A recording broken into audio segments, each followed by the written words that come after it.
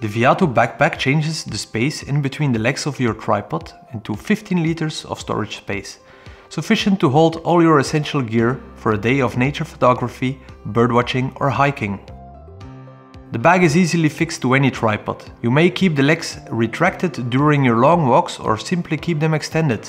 Keep your instrument mounted on a tripod or safely store it inside the Viato bag. In any way, from the second you slip the bag from your back, you are instantly ready to start shooting or observing. No hassle, no fuss.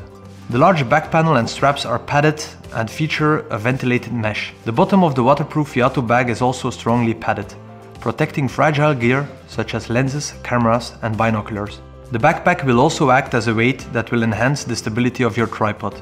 Because of the clever design, the tripod's central column can be normally used and the leg angles can be easily increased to maximum positions. The back and its zippers are fully waterproof. On top of that, the Viato features a retractable rain cover for the instrument mounted on the tripod. Following these steps, you easily mount the Viato to any tripod.